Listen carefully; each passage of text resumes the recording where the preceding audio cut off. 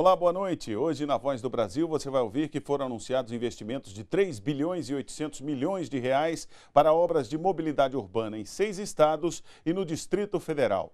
1 milhão e 700 mil reais vão ser enviados ao Amazonas para assistência e socorro às vítimas da enchente recorde do Rio Madeira. E ainda, começam na próxima segunda-feira as inscrições para o SISUTEC, o sistema que oferece vagas nas escolas de ensino técnico das redes pública e privada. Estas e outras informações daqui a pouco, às sete da noite, na Voz do Brasil, em todas as emissoras de rádio do país. Até lá!